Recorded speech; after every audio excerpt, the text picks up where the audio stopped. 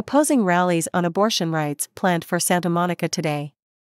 A pro abortion rights rally organized by Rise Up for Abortion Rights met at Santa Monica City Hall on Saturday with plans to march to a nearby Planned Parenthood.